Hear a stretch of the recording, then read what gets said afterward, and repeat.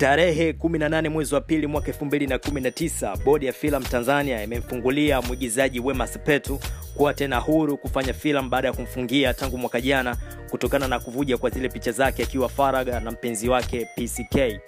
Wema Sepetu kupitia ukurasa wake wa Instagram ameshukuru bodi ya filamu kwa kuweza kumfungulia na kuandika hivi: miezi sita haijawahi kuwa kipindi kirefu katika maisha yangu kama kipindi hiki nilichokuwa kwenye kifungo nilichopewa na bodi ya filam Tanzania. Um, maana bila yeye nisingekuwa hapa.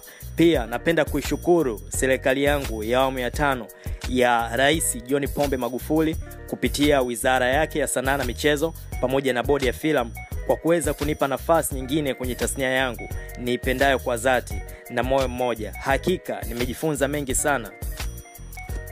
Wanasema yaliyopita si ndwele, tugange yajayo. Sitokaa na kukumbuka yaliyopita, maana yameniumiza kwa kiasi kikubwa. Nitakachofanya ni kujipanga upya na kuwa imara zaidi. Sina mengi ya kusema kwa kweli, maana nina furaha iliyo kisiri. Napenda kuwashukuru wapenzi wangu wote kwa ujumla mliokuwa mkiniombea nivuke hiki kipindi. Nimepitia challenge nyingi sana kipindi hiki jamani. Can't wait to get back in action. Ladies and gentlemen, let the voting begin upya kabisa. Msinichoke na posti zinazokuja jamani, maana nilifungiwa mpaka kuposti chochote kuhusu sanaa. Lizon Lint aluta continua. Baba umenijua ku...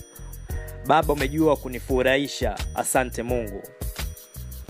Hayo si maneno yangu, hayo ni maneno ya Wema Sepetu akishukuru bodi ya filamu kwa kuweza kumpa tena nafasi ya kufanya tena na kuigiza tena katika Bongo Movie na kuonyesha tena kipaji chake. Usisahau kulike pamoja na kushare na pia usisahau kusubscribe YouTube channel yetu ili kuwa karibu zaidi na stori zote ambazo zina trendi hapa town.